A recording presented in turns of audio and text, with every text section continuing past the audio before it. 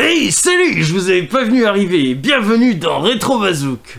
On se retrouve aujourd'hui pour le premier compte rendu vide-grenier de l'année.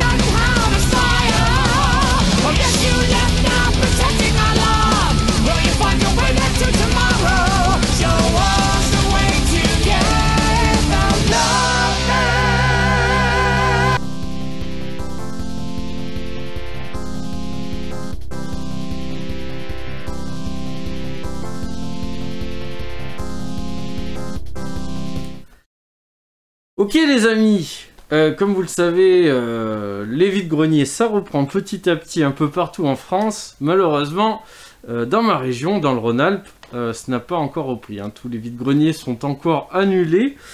fort heureusement, ce week-end j'ai eu la chance de rendre visite à de la famille et dans le sud de la France, dans le Gard plus précisément. J'ai pu participer à tout un tas de petits vides-greniers, je m'en suis donné à cœur joie. J'ai donc enchaîné pas moins de 5 vides-greniers ce matin, les amis. Et euh, j'ai trouvé quelques petits trucs. Alors euh, c'est parti, on va en parler un petit peu, voilà. Euh, voilà, une petite vidéo encore achat, achat collection. Et on commence tout de suite par cette, bah, cette petite guitare Rock Band pour la Wii. Écoutez, j'avais déjà la version Guitar Hero de la Wii U, comme ça, ça me fera une, guitare pour le joueur 2. C'est toujours rigolo les petites soirées euh, Guitar Hero. Et euh, ben, peut-être que j'essaierai d'inviter des guests sur la chaîne pour vous euh, préparer, pour vous présenter un petit peu des jeux de musique. Sans grande prétention, hein, juste pour, pour le LOL. Donc voilà, j'ai acheté cet accessoire pour 3 euros. Il était dans un carton, mais alors le carton, mes amis, ça m'embête parce que il est dans un état vraiment horrible. Ça se voit pas trop peut-être à la vidéo, mais euh, le, carton est totalement défoncé, il a pris, pris la flotte. Euh, regardez, il est en train de se, décoller de tous les côtés. Alors ça me fait un petit peu mal, mais franchement j'hésite à le bazarder. Hein.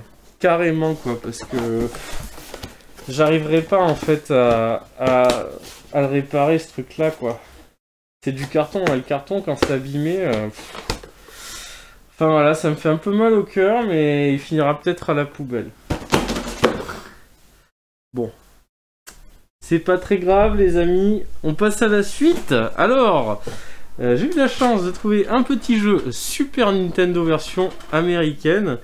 Euh, malheureusement abîmé à l'arrière, mais bon c'est pas très grave, il est quand même jouable, j'ai testé. C'est un petit euh, WrestleMania, Super WrestleMania, un jeu de, catch. on n'y voit rien, faut que je me mette à la lumière. Voilà, bon, un petit jeu sans... Voilà, c'est pas le meilleur jeu du monde, mais euh, c'est suffisamment rare de trouver des jeux Super Nintendo au plus que je voulais marquer le coup en le prenant. Et puis il ne m'a coûté qu'un euro. Donc voilà. Un jeu de Super NES à 1 euro euh, au plus, je dis pourquoi pas. On enchaîne avec des jeux à 50 centimes, les amis, des jeux de PlayStation 2 cette fois. Il s'agit de SSX3 version Platinum, alors là rien d'extraordinaire. Euh, il est complet en bon état, ceci dit, donc voilà, à 50 centimes. Ça complète un petit peu ma collecte de SSX, euh, une bonne série de jeux hein, quand même sur la PlayStation 2. Et ensuite un jeu, alors celui-là je pense qu'il est pas tip top. Très honnêtement je pense qu'il est un peu puant, mais la jaquette est assez jolie je dirais. Il s'agit de Dakar 2. Avec, en version cartonnée avec le fourreau. Il est complet bien évidemment. Et je me suis fait baiser. Voilà, voilà quand on fait pas attention les amis. Il n'y a que le disque promotionnel à l'intérieur, il n'y a pas le jeu. Bon, ben voilà. Hein. J'ai déjà hésité à le prendre parce que franchement... Euh, allez, c'est pas grave, c'est pas grave, on passe à la suite. Euh, la suite est mieux. La suite est mieux tout de même. Euh, un petit DVD.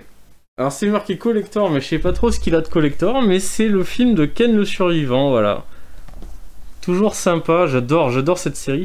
Vous le savez peut-être si vous suivez mes vidéos. Euh, voilà, avec le DVD, et il y a une espèce de, notice. Alors c'est pas vraiment une notice.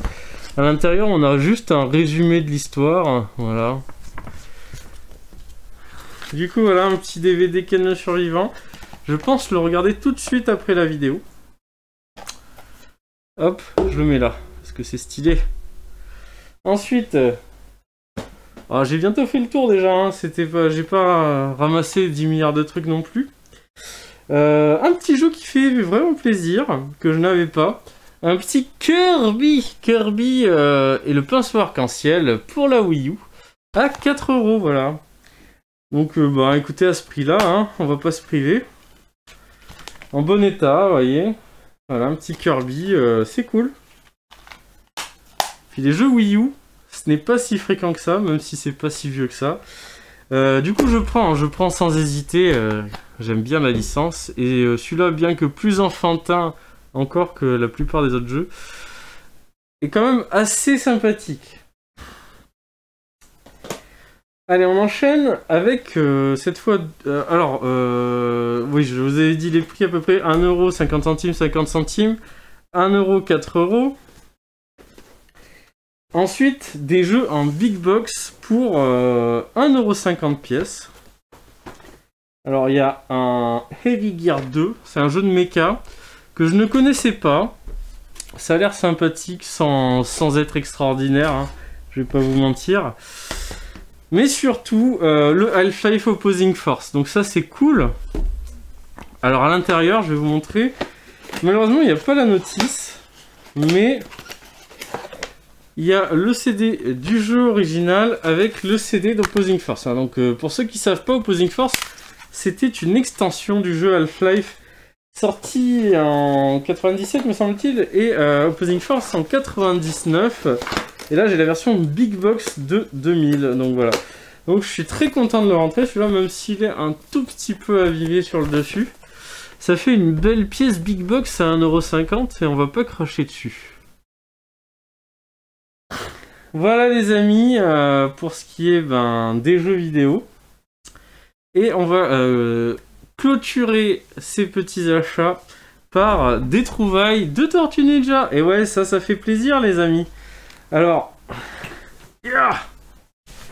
vous les voyez ici, ça c'est celle que je possédais déjà. Celle-là, je l'ai trouvée il n'y a pas si longtemps que ça, euh, également en vide-grenier. Et vous voyez que euh, elles sont toutes sympathiques, sauf que le petit Raphaël, là, c'est de l'édition 1989, qui n'est pas de la même édition que celle-ci. Donc elles sont, elle n'est pas de la même taille, ça fait un petit peu ben, un Raffaello un peu nain, quoi. C'est un peu dommage. Donc, hop, j'ai eu de la chance aujourd'hui de trouver cette version-là de Raffaello. La version de la même taille que les autres.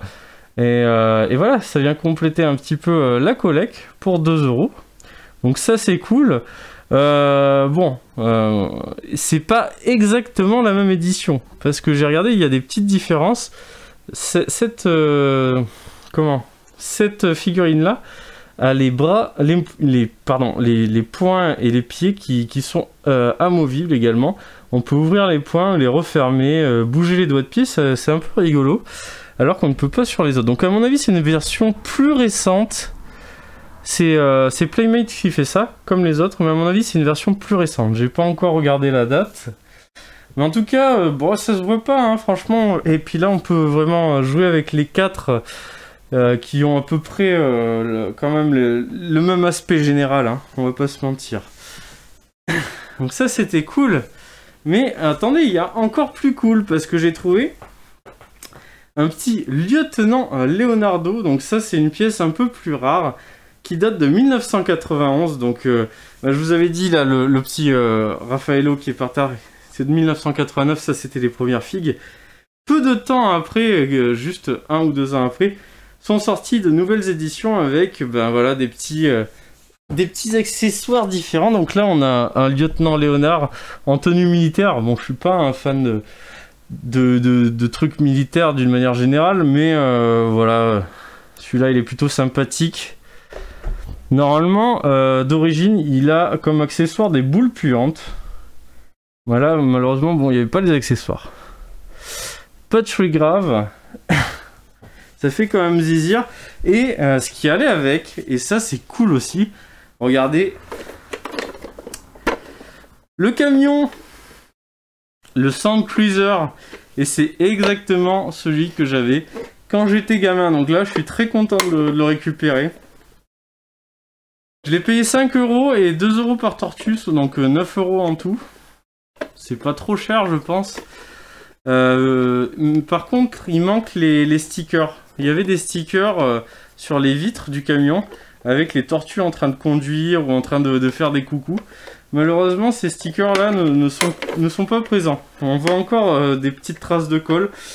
Mais enfin, euh, bon, bah, c'est pas très grave, voilà. On va mettre euh, le Leonardo sur son camion. Ce qui est marrant, là, c'est... c'est les ventouses, quoi. C'est un canon à ventouses. Voilà, je l'ai pas très bien mis, je l'ai pas très bien assis. Mais en vrai... en vrai, normalement, il peut s'asseoir euh, très correctement. C'est un peu compliqué avec la caméra et tout. hein. J'ai pas trop la place. Tac. Voilà, on peut le faire s'asseoir. Voilà, comme ceci, vous voyez. Donner l'illusion qu'il conduit le véhicule. Bon, voilà, les amis. C'est tout pour ce petit euh, vide-grenier euh, du dimanche 21 juin 2020. Euh, voilà, c'était c'était très très sympa en tout cas de retrouver un petit peu ben, l'ambiance et, les, trésors des vides-greniers. Allez, je vous fais des bises et à bientôt pour la suite des vidéos sur Retro. Ciao